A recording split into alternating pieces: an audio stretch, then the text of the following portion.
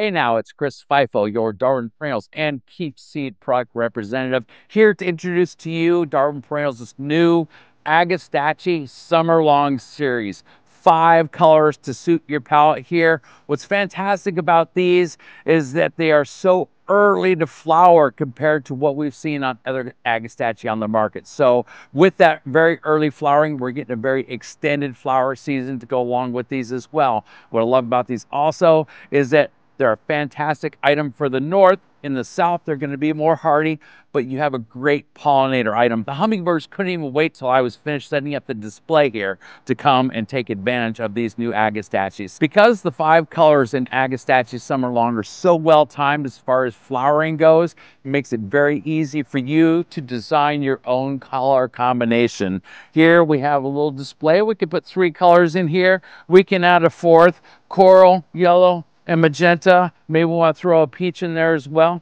Design your own combos with Agastache Summerlong Series.